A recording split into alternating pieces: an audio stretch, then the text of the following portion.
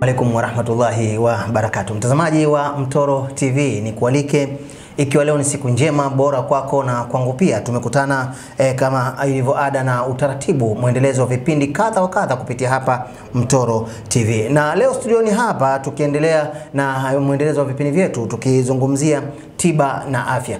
Eh, kipindi kilichopita nyuma tulimsikia Dr. Bihizi akizungumzia eh, kwa, kwa, kukaribu zaidi eh, dawa hii tabibu dawa ya ngaka ambao ni kiboko ya wachawi wanga, lakini pia wale ambao eh, wanaonewa gere ama maya kwenye shughuli zao, ni dawa mujarabu kabisa. Lakini pia dawa hii inafungua vifungo kwa wale ambao labda nyumba zao zina matatizo, mashamba yao yana matatizo, ama sehemu zao za riski, basi mkombozi ni hii ngaka, ambapo eh, matumizi yake tuliweza kuitolea katika kipindi kile kilichopita. Kama hiyo haitoshi, pindi tu ukijipatia dawa hii e, maelezo yote yapo hapa ya kufahamisha jinsi gani ya kutumia, ama wasiliana na Dr. Omar Dihizi kwa namba za simu hizo ambazo zinapita hapa chini. Kipindi ni tiba na afya. Studioni mimi ni Sheikh Mungia, nyuma ya kamera yuko Jafari Chings, kamera namba moja. Kamera namba mbili yuko Zuberi mwana wa Kisule. Mara tu baada ya tangazo hili e, la ngaka hapo, ili uweze kulielewa vizuri zaidi, lisikilize tangazo halafu tuendelee na kipindi chetu. Je, umekuwa ukisumbuka mara kwa mara, biashara haziendi vizuri, wachawi wanga wanakusumbua, watu wanakuonea kijicho kutokana na mafanikio yako? Mkombozi amepatikana, dawa bora kabisa ya kutoa nuksi, kuondoa wachawi, wanga, gere, vijicho, mikosi na gundu ni ngaka. Ngaka ndiyo mkombozi wao, inakinga na kusafisha miili yetu pamoja na majumba, maofisi, mashamba, viwanja na kadhalika. Dawa hii ya ngaka imetayarishwa na Dr. Bihizi, anapatikana WhatsApp namba jumlisha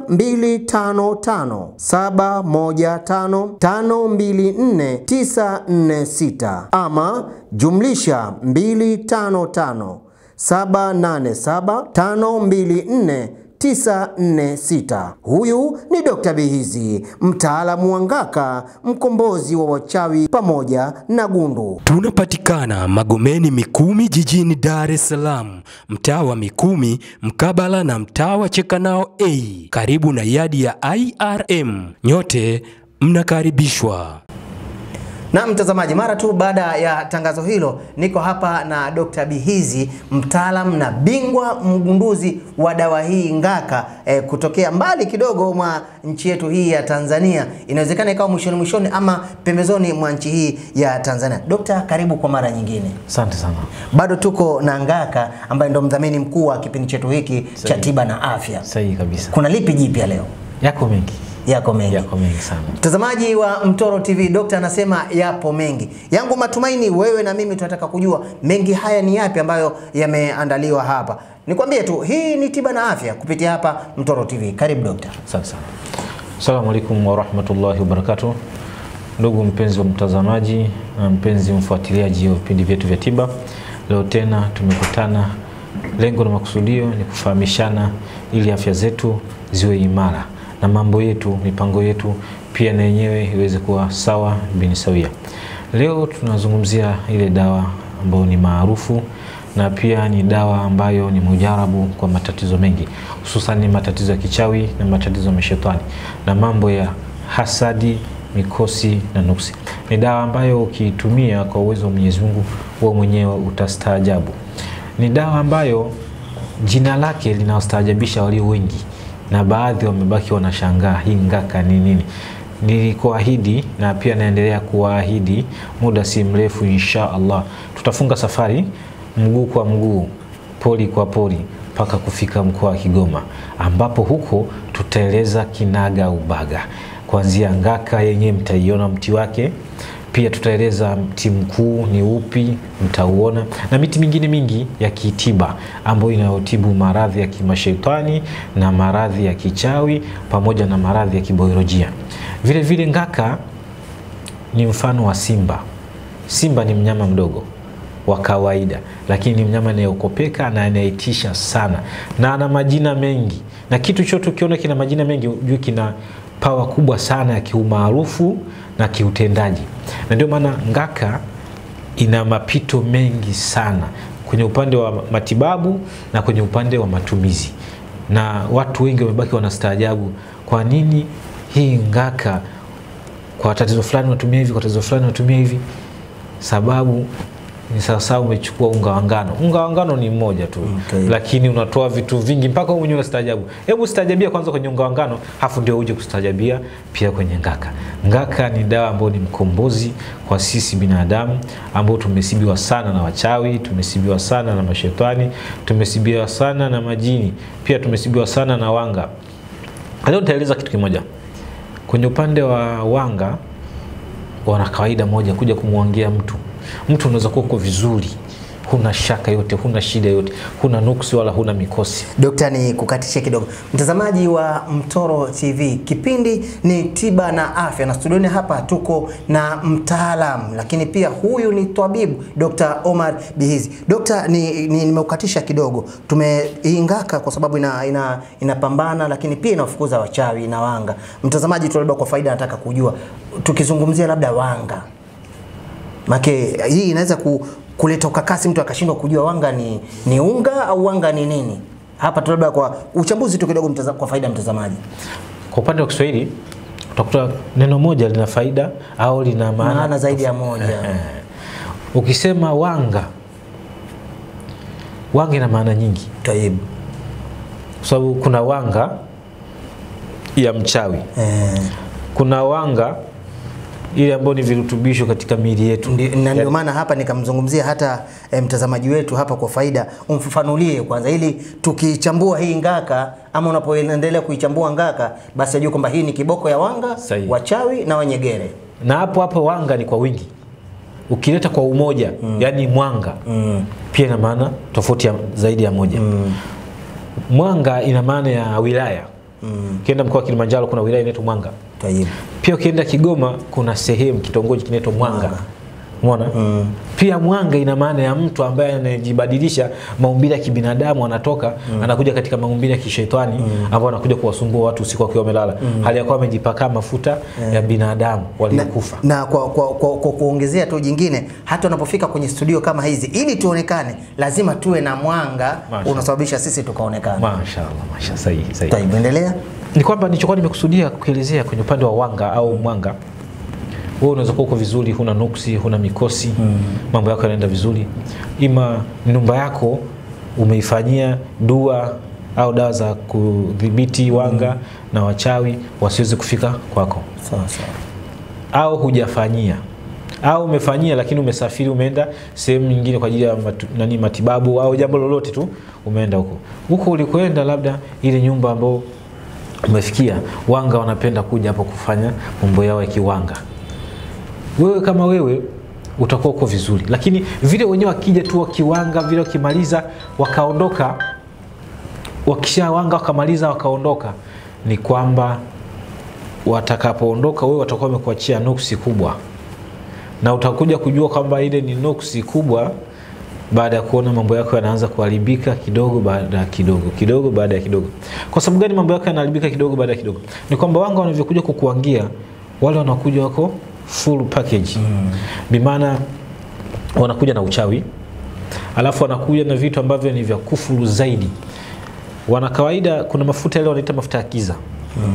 yale mafuta ukijipaka hivi huyu kuamini kwamba ni mafuta ya kiza ukiangalia kwenye kioo huo ni unaona kiza kwenye kioo sawa mm. hasa yale mafuta kwa mfano amekuja amejipaka wewe vile na kuangia amemaliza ameondoka ile nuksi ile imekuachia hasa kisha kuachia ile nuksi ni kwamba wewe utabaki unataabika unaona ah, mambo yangu mbona alikuwa kwa vizuri sasa hivi mbona yanasuasua. Sababu kubwa ni hao wanga na wachawi wanapokuja kumwangia mtu akiwa amelala. Wewe unakuwa huna hili wala lile umelala zako lakini wenyewe wanakuja kukuangia unabaki unapata tabu maisha yako.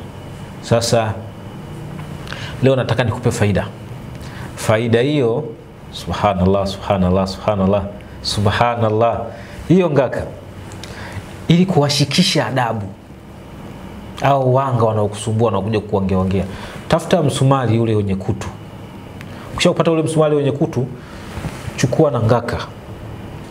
Weka kwenye kitambaa. Ukiweka kwenye kitambaa cheusi halafu kafunga vizuri ukaweka chini ya mto ukalala ni kwamba huyo mwanga anayekuja kukuangia utamuona yeye akuone wewe utamuona.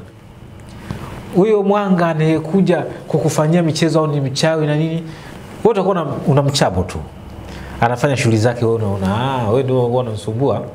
Sawa, ili kumshikisha adabu, ukichukua huo msumari wa kutu ukachukua na ngaka alafu kafunga kwenye kitamba chekundu ukaweka chini ya mto ukalalia, ni kwamba huyo mwanga akija kukuangia, Mwenyezi Mungu anampa pigo tap, naye anaenda kwanza kuugulia huko kwake.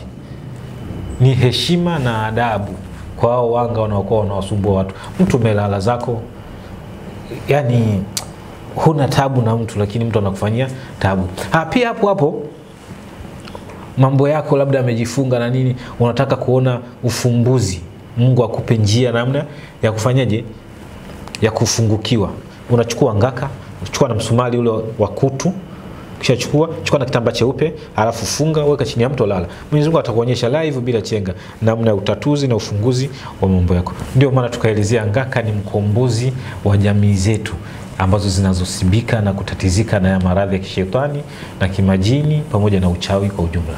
Mtazamaji wa Mtoro TV, mambo matatu haya dokta akiwa ameyazungumza ama ameyasimulia kwa vitendo, jinsi gani ambavyo wewe kwanza unaweza ukamwona mchawi ama ukamwona yule mwanga pindi tu unapokuwa umelala, lakini yote hii hutaweza kumwona bila kutumia ngaka ambayo ni kiboko ya uchawi, wanga na wale watu ambao wanakuonia wewe kijicho kwenye shughuli zako. Amezungumza hapa kitambaa cheusi, kitambaa chekundu, kitambaa cheupe, jinsi gani ya kuvitumia hivi. Rudi nyuma kidogo, angalia hapo, e, fuatilia kwa makini maelezo ambayo anayatoa dokta. Kwa kweli hii ni faida kubwa sana kwangu na kwako pia, pindi tu tunapoanza kuitumia hii dawa. Ni dawa mujarabu kabisa kuweza kumgundua, kumbaini, lakini pia kumchapa wala hutumii fimbo wewe kwamba labda unaamka usiku na mchapa Unapotumia hii kwa maelekezo uliopewa na dokta. Kipindi ni tiba na afya, tukiwa tunaendelea. Ehe, dokta, kwamba unapofunga kwenye kitambaa cheupe shughuli zako kule Mwenyezi Mungu anajalia zinafunguka. Eh, wewe umefungwa vifungo mbalimbali, Ndio. basi namna ya ufunguzi Mwenyezi Mungu anakuonyesha baada ya kutumia hiyo njia ya kitambaa cheupe mm. Lakini ile kitambaa cheusi ni kwa ajili Ya kumuona. Eh, wewe ukishafanya vile ukishafunga unatia unaweka chini ya mtu unatia manuizi ya Mwenyezi Mungu na kwamba unionyeshe ah wanga wanakuja kuniwangia mwanga nakuja kuniwangia wale wote wasumbufu wale wote maadui wanaonifanyia uadui na kwamba Mwenyezi Mungu nionyeshe kwa uwezo wako na kwa utukufu wako. Wa sallallahu ala sayyidina Muhammad wa alihi wa sallam alhamdulillah. Unalala live bila chenga mm. Mwenyezi Mungu anakuonyesha na kama ni nani ni mwanga unataka kumshikisha adabu ili asiendelee kukufuatilia eh, au hasidi yanakusumbua siendelee kufuatilia, chukua kitambaa chekundu, chukua na ngaka, weka na ule msumari wa na ni kutu. Msumari nyekutu. e, funga vizuri, tia manuizi afu lala. Show anayo. Hata mkikutana kuangalia soni Mm. Eh, atainama chini. Utamsalimia atakina mm, mm. Ndio imeisha. Mtazamaji wa Mtoro TV, tukiwa tunaendelea hivi tiba na afya, kipindi ambacho eh, kinakujia moja kwa moja kutokea hapa Mtoro TV katika studio hizi katikati kati ya jiji letu la Dar es Salaam, na tuko studioni hapa na mtaalam Dr. Bihizi kuelezea kwa namna moja ama nyingine jinsi gani ya kuweza kuwashughulikia hawa wa ambao wanatusumbua sisi tukiwa tumelala, wanaotusumbua kwenye shughuli zetu, lakini pia wanaosababisha sisi tusiweze kusonga mbele kutokana na kijicho chao, gere ama hasadi walizonazo kwenye miili yao. Kipindi ni tiba na afya, na tukisaniwa na dawa bora kabisa Ngaka, kiboko ya wachawi, wanga pamoja na watu wenye nia mbaya, kama hivi ambavyo ametanabaisha dokta kipindi kilichopita. Wewe ambaye ni mfuatiliaji wa Mtoro TV na zaidi wewe ambaye unamfuatilia Dr. Omar Bihizi toka eh, amefika hapa na kuanza kufanya naye vipindi, hupenda kufanya majambo yake kwa vitendo. Kipindi kilichopita aliuzungumzia mti mkuu. Leo anazungumzia ngaka, jinsi gani ya kuweza kuwachapa, kuwabainisha. Lakini kama hiyo haitoshi, kuna vitu ambavyo mnaviona hapa mezani. Haya ni mabomu haya. Unaweza kujua tu labda vitu tu vya kawaida hivi, lakini haya ni mabomu, jinsi gani ambavyo yanatumika hapa. Tutaingia eh, mara tu baada ya tangazo hili, tutaingia katika eh, kuangalia jinsi gani ya kuwafungua waliofungwa. Je, umekuwa ukisumbuka mara kwa mara, biashara haziendi vizuri, wachawi wanga wanakusumbua, watu wanakuonea kijicho kutokana na mafanikio yako? Mkombozi amepatikana, dawa bora kabisa ya kutoa nuksi, kuondoa wachawi, wanga, gere, vijicho, mikosi na gundu ni ngaka. Ngaka ndiyo mkombozi wao, inakinga na kusafisha miili yetu pamoja na majumba, maofisi, mashamba, viwanja na kadhalika. Dawa hii ya ngaka imetayarishwa na Dr. Bihizi, anapatikana WhatsApp namba jumlisha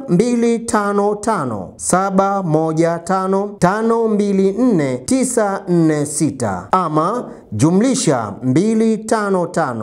2557587524 Huyu ni Dr. Bihizi, mtaalamu wa ngaka, mkombozi wa wachawi pamoja na gundu. Tunapatikana Magomeni Mikumi jijini Dar es Salaam, mtaa wa Mikumi mkabala na mtaa wa Chekanao A, karibu na yadi ya IRM. Nyote mnakaribishwa. Na mara tu baada ya tangazo hilo ambao ni wadhamini wakuu wa kipindi hiki, Dokta, tunaendelea na sehemu ya pili sasa. Naam. Hapa tumeshawaambia hawa tuna mabomu hapa.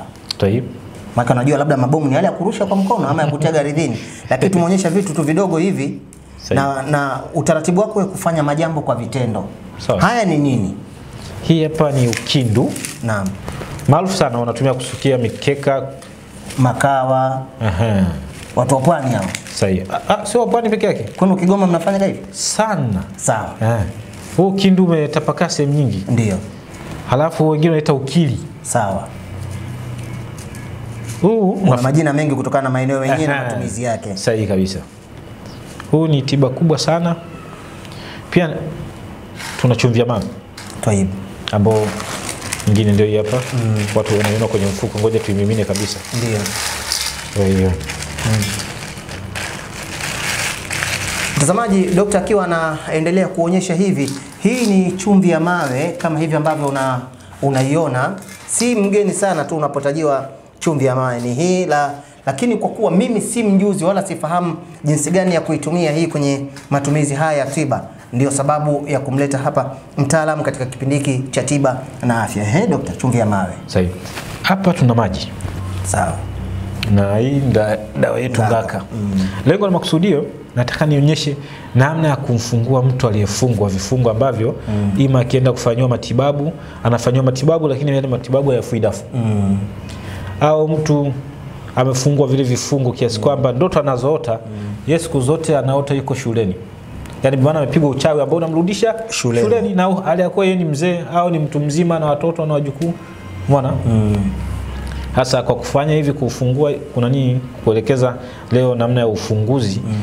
wa mtu yote aliyefungwa vifungo vya aina yeyote subhanallah Na dokta, kabla hatujafanya kwa, kwa vitendo hili jambo ambalo nataka kulionyesha hapa yeah. labda mtu anataka kujua kama ni hu, hili jambo anaweza akalifanya yeye mwenyewe ama mpaka aonane na bihizi ndio jambo hili la kwake la kumfungua mtu linafanyika. akiweza yeye mwenyewe anaweza kufanya yaani kwa mfano kama kuna mtu akumfungua mm. eh, anafanya huko Unatoa ruhusa hiyo? eh, huko aliko eh. si ndio maana ya kufundisha Kuna chumvi, kuna maji na huu kindu ama Pamoja na ngaka. pamoja na ngaka. Labda vipimo vinatakiwaje vipimo kabla vinavyotakiwa hatujaingia kwa vitendo? Sahihi. vipimo vinavyotakiwa kwa hii ngaka anachukua kiwango cha kama kijiko cha chai Ndio, kwa mfano kama hiki ndio. ndio anaweka Kwenye maji. Aha. Maji yanatakiwa ujazo gani? maji kuanzia lita mbili na nusu lita tatu hapo pala pale Mm. Na huku kwenye chumvi ya mawe huku kwenye chumvi ya mawe anaweza kuchukua kiganja kimoja sawa. kwa akishachukua kiganja kimoja anasoma surati falaki Mm. kwa kishasoma surati falaki rahim kullahu bi falaki min sharri ma khalaq mishal sharri ghasiqin idha mishal min sharri fatati fil qalbi min sharri hasidin idha hasada Hasada. hapo amemaliza yule muhusika yule anayefunguliwa anachukulia anachukua na yeye chumvi ya mawe. Yeye mwenyewe. sawa anatia manuizi. Ye Mwenyezi Mungu kwa uwezo wako na utukufu wako umeumba hii chumvi na ukaijalia ni yabisi. Ikitiwa kwenye maji inayuka, ikitiwa kwenye moto inatatalika. Mm. na kuomba Mwenyezi Mungu vifungo vyote nilivyofungwa ni hii chumvi itakapoitia kwenye maji viweze kuyeyuka baada ya, baada ya kufunguliwa Vifungo vilivyofungwa. Sijui nimefungwa na mwanamke sijui nimefungwa na mwanaume. Sijui nimefungwa na jini sijui nimefungwa na binadamu sijui nimefungwa na kiumbe gani mwenyezi mungu kwa uwezo wako na utukufu wako na kuomba baada ya ufunguzi huu niweze kufunguka moja kwa moja mm. akishamaliza manuizi anamswalia mtume alafu anaweka Ina maana kinakuwa ni kiganja cha pili hicho. Eh, kiganja cha pili kwa kinachofuata sasa kuna huu kindu unafungwa kwa njia ya kudu. Huu ndo tutakuja kuona ukiwa una unauonyesha mwenyewe. Mtazamaji wa Mtoro TV, tukiwa tumeanza hivi na huu ni mwendelezo wa vipindi kadha wa kadha kupitia hapa Mtoro TV, kama vile ambavyo naendelea kukunasihi toka mwanzo. Kipindi ni tiba na afya kupitia hapa Mtoro TV, na mtaalamu wetu tuko naye hapa Dr. Omari Bihizi akieleza kwa vitendo akieleza kwa vitendo ama akifafanua kwa vitendo jinsi gani ya kuyafanya haya. Matangazo ndiyo ambayo yanasababisha sisi tuweze kuwa pamoja na wewe. Hakika hii ni Mtoro TV, elimika nasi. Baada ya tangazo hili la ngaka, tunarudi sasa katika sehemu ile ya vitendo, kuangalia jinsi gani majambo yanavyofanyika. Kuwa makini sasa hapa mara tu baada ya tangazo. Je, umekuwa ukisumbuka mara kwa mara, biashara haziendi vizuri, wachawi wanga wanakusumbua, watu wanakuonea kijicho kutokana na mafanikio yako? Mkombozi amepatikana, dawa bora kabisa ya kutoa nuksi, kuondoa wachawi, wanga, gere, vijicho, mikosi na gundu ni ngaka. Ngaka ndiyo mkombozi wao, inakinga na kusafisha miili yetu pamoja na majumba, maofisi, mashamba, viwanja na kadhalika. Dawa hii ya ngaka imetayarishwa na Dr. Bihizi, anapatikana WhatsApp namba jumlisha 2551552496 ama jumlisha 255 787524946. Huyu ni Dr. Bihizi, mtaalamu wa ngaka, mkombozi wa wachawi pamoja na gundu. Tunapatikana Magomeni Mikumi jijini Dar es Salaam, mtaa wa Mikumi mkabala na mtaa wa Chekanao A, karibu na yadi ya IRM. Nyote mnakaribishwa. Naam, mtazamaji, mara tu baada ya tangazo hilo, kama hivi ambavyo nimekueleza awali kwamba leo dokta amesema anataka akuonyeshe kwa vitendo namna ya kuwafungua eh, watu wenye matatizo waliofungwa kwa kutumia dawa bora kabisa ya ngaka ambayo ndio mdhamini mkuu wa kipindi hiki cha tiba na afya. Dokta, mara tu baada ya tangazo hili tumesema kwamba moja kwa moja tunaenda kwa vitendo na tulionyesha huu ukindu ama ukili kama vile wanavyoita, lakini pia e, katika hizi ambazo ziko hapa ni jinsi gani sasa mtazamaji anatakiwa afanye? Okay. Mm. Hizi inabidi kuzifunga kama awali tulivyoelekeza, Ndio. kwa njia ya kupiga kudu, Sawa sawa. yaani nafanya hivi kiasi kwamba baadaye akivuta hivi Inafunguka. Ehe. Hajaona tena tuna hivi ndio inavyofungwa. mm. Unafunga namna hivi. Ufungaji huu unaitwa ufungaji wa kupiga kudu. mm. Nadhani imeeleweka. Kwa ukisha, akishafunga namna hii Ndio. ndio unatia kwenye maji. Na idadi ya, ya huu kindu vinatakiwa viwe vingapi hivi vya kufunga? Inapendeza zaidi iwe arobaini- na tisa saba mara saba arobaini na tisa Ndio, eh. Ndio inapendeza zaidi kiwango hicho. Sawa sawa.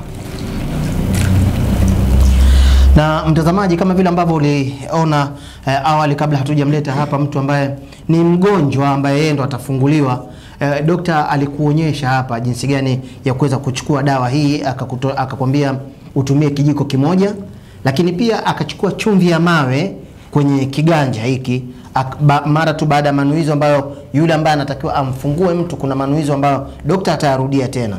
Pia akazungumza mgonjwa mwenyewe ambaye anafunguliwa lile tatizo, ana manuizi ambayo anatakiwa ayafanye anapochukua chumvi ya mawe kwenye kiganja kimoja. Haya nayarudia kwa faida yako tu, ili uweze kuyafahamu. Dokta, tuendelee sasa pale kwenye manuizo. Nadhani Okay, mgonjwa uchukue chumvi, weka manuizi. Ee Mwenyezi Mungu, haya manuizi anayonuia unaweza kunuia hata wewe mwenyewe, ni, ni, ni rahisi sana mm. kutokana na kile ambacho unaumwa ama kinakusibu. eh, eh, Mwenyezi Mungu, hii chumvi ni yabisi, ikitiwa katika maji inayeyuka na ikitiwa katika moto inatatalika. Ndio. na kuomba Mwenyezi Mungu hii chumvi takapoitia katika Maji. maji, ambayo ambao ndani yake kuna ukindu, kuna daa ngaka. Lengo na makusudio ni kwa ajili ya kujifungua vifungo nilivyofungwa na wanga, wachawi, mashetani, Binadamu. majini, binadamu na vifungo vingine huwa tunavipata sana mm. wakati tunatembea. Wewe uko unatembea njiani unakutana mwanamke na mwanaume na wenyewe wako wanatembea zao wanapiga zao stori hasa wewe unawapita Katikati. yale matatizo yao yote umeyabeba wewe. Kama wametoka kufanya machafu ule uchafu wao ndio umeuvaa wewe. Kwa hiyo watu wengi wanakumbwa na matatizo makubwa na mazito sababu ya kuwapita pia watu katikati hususan mwanamke na mwanaume. Kwa kama kuna mwanamke na mwanaume wako wanatembea wana habari zao wanapiga zao stori na nini usiwakatishe katikati. Pita pembeni hapo hapo dokta, kwenye watu ambao wanatembea pamoja yeah. mathala labda ni wanawake watupu Sahihi. ama wanaume watupu, hili linakuwaje nalo? wanaume watupu haina shida wanawake watupu haina shida Ile sio jinsia mbili tofauti. Hapo ndio mtihani unapoanzia Haya, tuendelee dokta. umeshamaliza kutiania Ameshamaliza. tumbukizo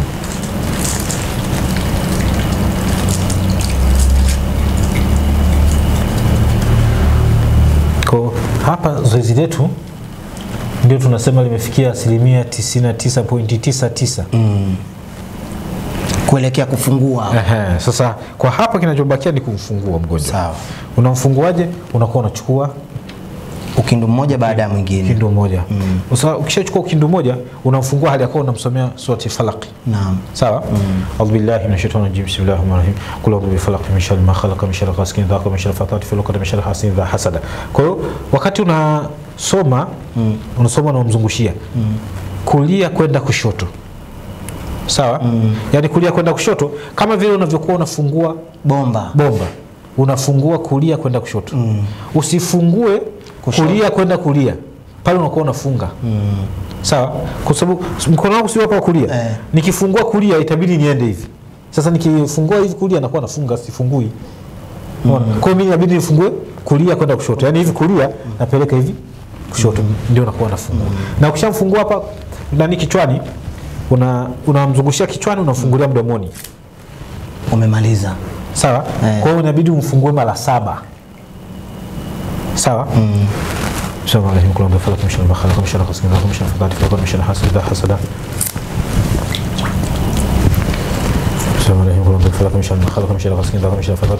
kumshana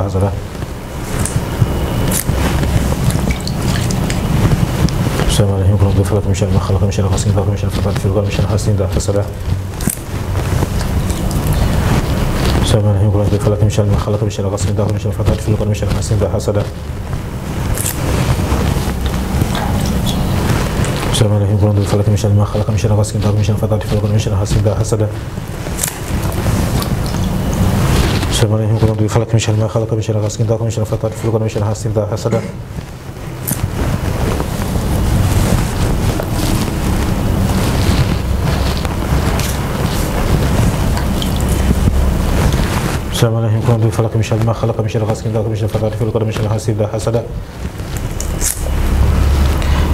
hapa kipengele cha kwanza tumemaliza. Bimaana tumemfungua kichwa. Mchawi huwa anafunga kichwa. Sawa lengo na makusudi usipate ndoto nzuri. Ndoto utapata kama mfano uko shule utapata ndoto zile labda unakimbizwa na wadudu wakali mm. na kadhalika. Kwa ukisha mzungushia kichwani unamfungulia mdomoni. Mm. tayari ndio atakuwa anapata kauli kujua ah, kumbe hapa nilirogwa hapa nimefungwa hapa hivi hapa hivi. Sawa? Kwa hiyo mtu aliyefungwa kichwa au mtu unayemfungua una- unamzungushia kichwani unamfungulia mdomoni. Sehemu inayofuata ni sehemu ya pili. Unamzungushia shingoni. Naam. alafu unamfungulia kifuani. Kwa sababu bado utaratibu ni ule ule wa kutoka kulia kwenda kushoto. vile vile أعوذ بالله من الشيطان الرجيم. بسم الله الرحمن الرحيم. بفلق من شر ما خلق من شر غاسق إذا من شر فتات في العقد من شر حاسد إذا حسد.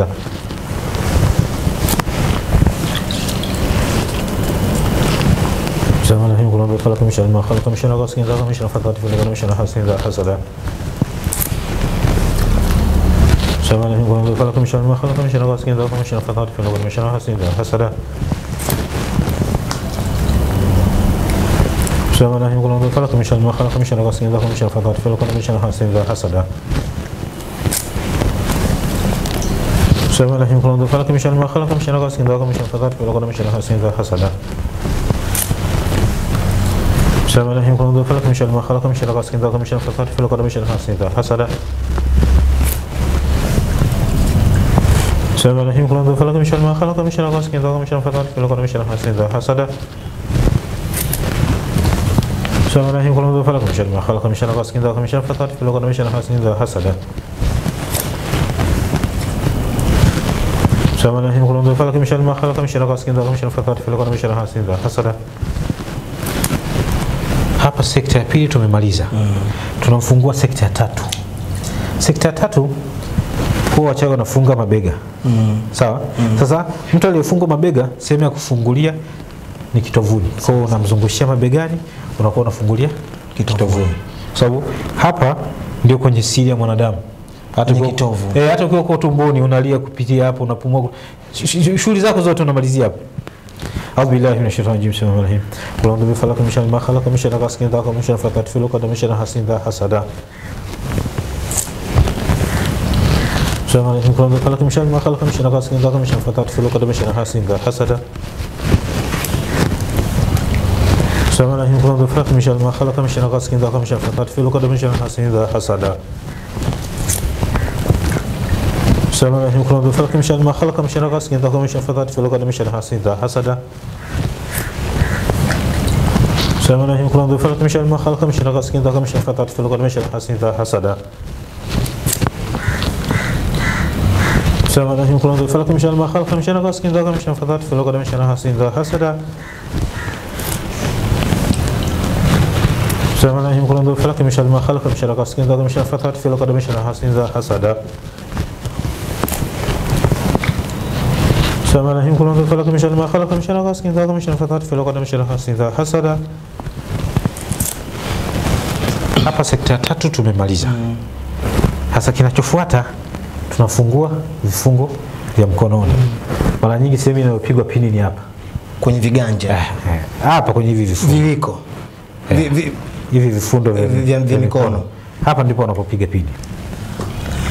Mtazamaji wa Mtoro TV ni, ni, ni tiba na afya kupitia hapa Mtoro TV, na hiki ambacho tunakiona hapa ni e, ufunguaji wa vifungo ambavyo amefungwa mwanadamu, ama niseme kwa lugha nyepesi kwamba amefungwa mgonjwa, na tunaona hapa mtaalamu wetu katika kipindi hiki cha- cha tiba na afya Dr. Bihizi akiwa anayafanya haya kwa vitendo kwa kutumia e, i, ni, ni, kwa kutumia ukindu ambao tuko nao hapa kama hivi ambavyo tumekutanabaishia awali, na hizi ziko fundo takriban 49 saba mara saba. Kwa hiyo kila sehemu unafanya hivi mara saba, lakini pia amesitiza kwamba e, unapoyafanya haya ufungue kutoka kulia kwenda kushoto huku ukisoma Suratul Falaq. Anaendelea sasa, mara tu baada ya kuona sehemu tatu zile, tunakwenda sehemu ya nne ambazo ni sehemu hizi za kwenye mikono. Tuendelee dokta.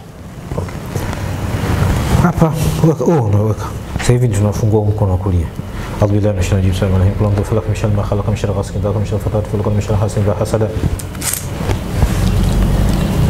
بسم الله الرحمن الرحيم بفلق من ما خلق من شر غاسق وقب من شر في العقد من شر حاسد إذا حسد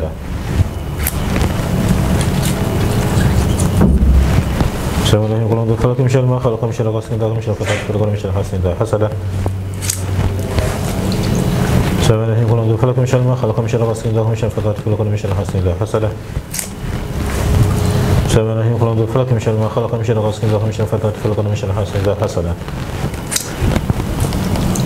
السلام عليكم ورحمة الله خلقكم من شر ما خلقكم شر غاسق إذا من فطرت كلكم شر حاسد إذا حسد السلام عليكم ورحمة الله خلقكم من خلقكم شر غاسق إذا من فطرت كلكم شر حاسد إذا حسد بسم الله الرحمن الرحيم من شر ما خلق من شر غاسق إذا من شر في العقد من شر حاسد إذا حسد Kifungo cha nne tumemaliza, tunaingia kifungo cha tano cha mkono wa kushoto. أعوذ بالله من الشيطان الرجيم بسم الله الرحمن الرحيم قل أعوذ بفلق من شر ما خلق من شر غاسق إذا من شر الفترة في العقد من شر حاسد إذا حسد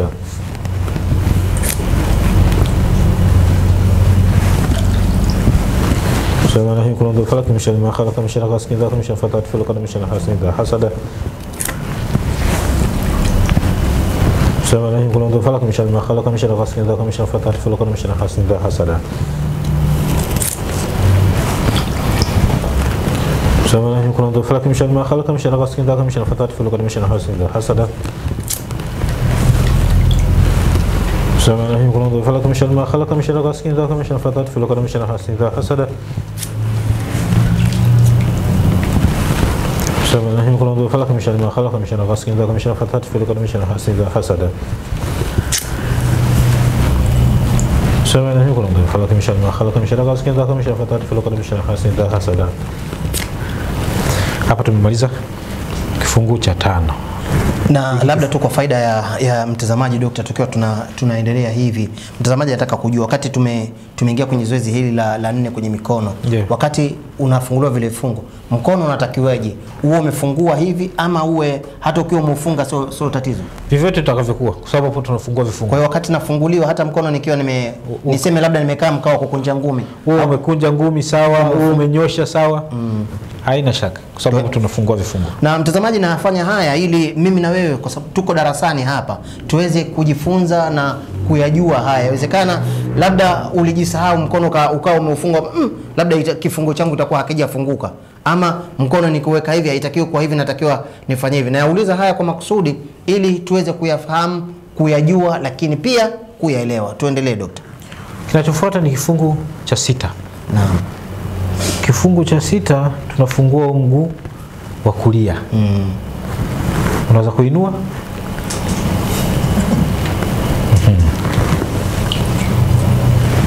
أعوذ بالله من الشيطان الرجيم. بسم الله الرحمن الرحيم أعوذ بفلق من شر ما خلق من شر غاسق إذا وقب من شر الفتاة في العقد من شر حاسد إذا حسد. بسم الله الرحمن الرحيم أعوذ بفلق من شر ما خلق من شر غاسق إذا وقب من شر الفتاة في العقد من شر حاسد إذا حسد.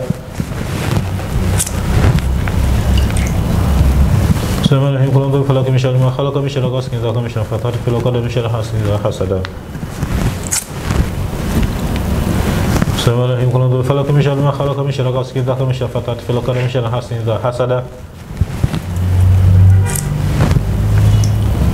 بسم الله الرحمن الرحيم قل أعوذ بفلق من شر ما خلق من شر غاسق إذا وقب من شر الفتاة في العقد من شر حاسد إذا حسد Hapa kwenye mguu wa kulia tumemaliza, tunaingia mguu wa kushoto. بسم الله الرحمن الرحيم قل أعوذ بفلق من شر ما خلق من شر غاسق وقب من شر الفتاة في العقد من شر حاسد إذا حسد بسم الله الرحمن الرحيم قل أعوذ بفلق من شر ما خلق من شر غاسق وقب من شر الفتاة في العقد من شر حاسد إذا حسد بسم الله الرحمن الرحيم قل أعوذ بفلق من شر ما خلق من شر غاسق وقب من شر الفتاة في العقد من شر حاسد إذا حسد بسم الله الرحمن الرحيم قل أعوذ بفلق من شر ما خلق من شر غاسق إذا وقب من شر الفتاة في العقد من شر حاسد إذا حسد hapa mgonjwa wetu tumemaliza Ndio. kazi ya kumfungua. Kazi inayobakia ni katika hizi kindu. Hizi kindu baada ya zoezi kuwa limeisha la ufunguzi mm. cha kwanza hapatakiwi mtu yeyote azifunge tena. Akizifunga hivi anakuwa amerudia kumfunga vifungo.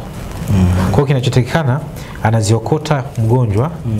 au ndugu yake Mgonjwa mwenyewe ama mgonjwa kama ana uwezo huo mm. inakuwa bora zaidi anaziokota akishaziokota halafu anaenda kuzichoma moto anasimamia ile zoezi la kuzichoma moto Mpaka ziteketee zote hapa zinakuwa bado mbichi kwa sababu zimetoka kwenye maji. ndio Je, yeah, anaruhusiwa kuzianika ama kuzihifadhi kwanza mpaka zitoke maji? moto ni mkali ukitia kwenye moto zinaungua hivi hivi na ubichi Mm. Wala usiwe na shaka ni zoezi ambalo nimewafanyia wengi nimewafungua wengi sana na huwa nasimamia wakati mwingine wakati wa uchomaji hizi kindu lengo na makusudio mm. asije kuzipata mtu mbaya akarudia tena kufunga vifungo au amezipata mtu mzuri mm. lakini yeye hajui nani hizi zimetumika vipi Kwa ajili gani?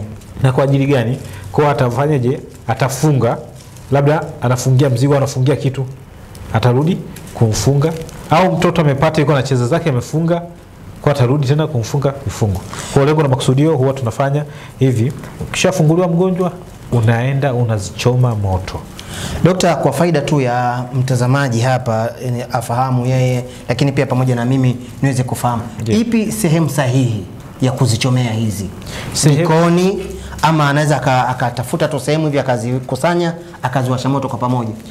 Sehemu yote, kinachotakikana ni zenyewe zichome moto ziungue ziteketee.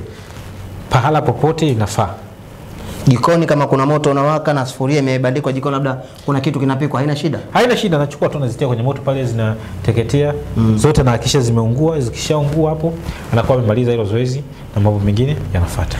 Mtazamaji wa Mtoro TV, kipindi ni tiba na afya, na eh, toka mwanzo wa kipindi hiki tukiwa tuna tuko studioni hapa na Dr. Bihizi, mengi akiwa ameyaeleza, lakini tukushukuru wewe pia kutenga muda wako kwa ajili ya kuangalia e, eh, tiba na afya kupitia hapa Mtoro TV, tukihisaniwa na dawa bora kabisa Ngaka, kiboko ya wachawi wanga wale ambao wanakuonea kijicho wewe kwenye shughuli zako mbalimbali mbali. wale ambao e, una, una kiwanja chako kina matatizo matatizo, nyumba yako haishi maneno maneno, lakini pia sehemu zile za kupatia riziki ma, ma, ma, maneno maneno anakuwa hayaishi. Mkombozi wako ni Ngaka e, kutoka kwa Dr. Bihizi. Wasiliana na Dr. Bihizi kwa namba za simu hizi ambazo zinapita hapo, lakini pia anapatikana kwa njia ya WhatsApp. Unaweza kumpigia video call ama WhatsApp call, tunasema hivyo, naye atakutatulia tatizo lako hata kama uko mbali.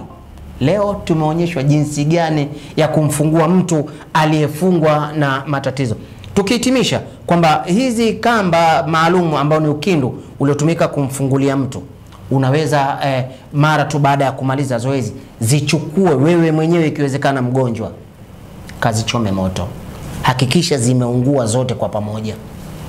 Dokta, kwa kumalizia, una lipi la kumalizia? Kwa kumalizia ni kwamba zoezi kama hili likishafanyika la ufunguzi, ambapo ndani yake wa watu tulikuwa tunaonyesha, unaweka ngaka kijiko kidogo cha chai Ndio.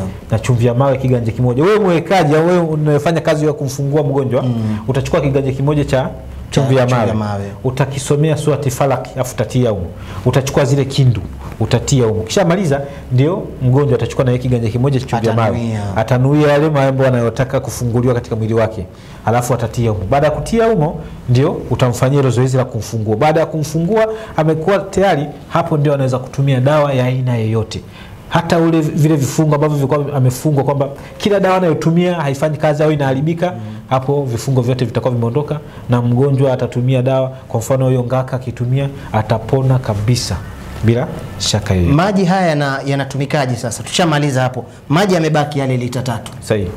Haya maji yanatumika njia tatu. Katika njia tatu anachagua mojawapo. Naam. Njia ya kwanza anaweza kutumia kuoga sehemu safi na tohara, Sio chooni. sio chooni, kwa sababu ndani yake si ana kisomo. Hiyo njia ya kwanza. Njia ya pili, kwa mfano kwa nyumbani, anaweza kutumia kupigia deki. kama kusafisha nyumba. Aha. Njia ya tatu kwa mtu sehemu ya shughuli yake, yani sehemu ya ofisini, kwa mfano labda dukani mm. au sehemu anapofanyia kazi, labda kwa wale nani mafundi seremala ambao nani wanakuwa na Tuseme tu sehemu ya kazi. eh, sehemu ya kazi anaweza kuchukua akatumia kulashia lashia kama vile anapunguza vumbi, afu ndio anafagia kwa ajili ya kutotoa mm. uchafu.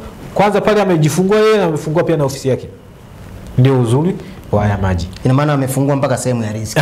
Kwa sisi hapa ofisini tukishamfungua mgonjwa, haya maji huwa tunayachukua tunayamwaga mwaga yale maeneo Ya karibu karibu. ya- ya- ya- ya- Yanazunguka ofisi. Aha, ndio huwa tunafanya hivyo, Hapa swali la mwisho tu hapa kwenye kwenye kuoga. Haya maji ni, ni, ni lita tatu. ndio Achanganyie na maji mengine ama mgonjwa atumie maji yale yale tu? anaweza kutumia haya ya mm. kuogea au haya maji akayachanganya na maji mengine, lakini utaratibu wake unakuwa hivi: yale maji yanayochanganywa, kwa mfano ndoo ya lita kumi hapa, unaweka maji kiasi kama lita saba hivi, alafu haya maji yanakuja juu yake Ili ijae ile ndoo. kwa sababu ndani yake haya maji yana kisomo yasitangulia haya maji yenye kisomo chini yakaja maji juu Yes, ambayo hayana kisomo. kisomo. He. Kwa kinachotakikana yanaanza yale maji ambayo hayana kisomo, alafu haya maji yenye kisomo ndio yanakuja juu yake. Kwa hiyo akioga pia na zile, zile takataka ambazo zilikuwa zimebakia bakia zote zinakuwa zenye kuondoka. Mtazamaji, wakati ni ukuta, ukishindana nao utaumia mwenyewe. Kipindi ni tiba na afya, na studioni leo tulikuwa na mtaalam Dr. Omari Bihizi. Tumekuwa na mgonjwa hapa, amefunguliwa kile ambacho kilikuwa kinamsibu kwa vitendo, na umeweza kuyapata ama kuliona darasa kubwa kabisa toka mwanzo wa kipindi hiki mpaka mwisho. Ni kushukuru kuweza kuungana nasi Dr. Namba ya simu unasema iko hapa chini, lakini kuna muda ukitaja mwenyewe hata mtazamaji ataona fahari. Sahihi. Namba nazo tatu. Tigo ni 0715 524946. Kwa wale mlioko nje ya nchi ya Tanzania mnaanza na alama ya kujumlisha 255 715 52 49 46 na kwa Airtel ni 07 87524946. Kwa wale mlioko nchi jirani au nje ya nchi unaanza na alama ya kujumlisha 255 787524946 na kwa Voda ni 0767 524946. Kwa wale mlioko nje ya nchi au nchi jirani unaanza na alama ya kujumlisha 255 767 524946. Kwa hapo utanipata kwa WhatsApp, pia utanipata na kwa kawaida. Mtazamaji wa Mtoro TV, nirudie tena kuendelea kukushukuru wewe kutenga muda wako kufuatilia vipindi kadha wa kadha kupitia hapa Mtoro TV. Je, umekuwa ukisumbuka mara kwa mara, biashara haziendi vizuri, wachawi wanga wanakusumbua, watu wanakuonea kijicho kutokana na mafanikio yako? Mkombozi amepatikana, dawa bora kabisa ya kutoa nuksi, kuondoa wachawi, wanga, gere, vijicho mikosi na gundu ni ngaka. Ngaka ndiyo mkombozi wao, inakinga na kusafisha miili yetu pamoja na majumba, maofisi, mashamba, viwanja na kadhalika. Dawa hii ya ngaka imetayarishwa na Dr. Bihizi, anapatikana WhatsApp namba jumlisha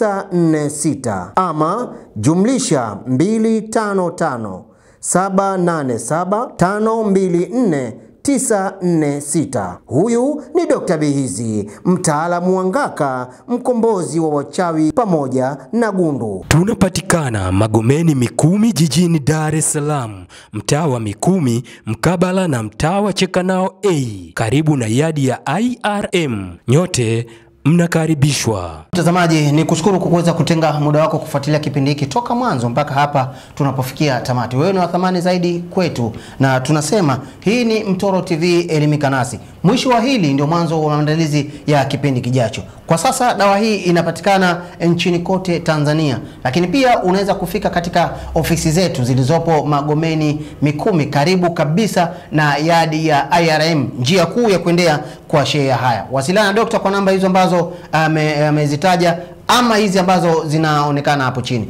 Nyuma ya kamera namba moja alikuwepo Jafari Chings, kamera namba mbili alikuwepo Zuberi mwana wa Kisure, mchangaji picha, msimamizi wa kipindi hiki ni Abeid Abeid Ramadhan Mbonda. Nimshukuru pia mgonjwa ambaye tulikuwa tuko naye siku ya leo, nimshukuru daktari wangu katika kipindi hiki cha tiba na afya kutokea hapa studio hizi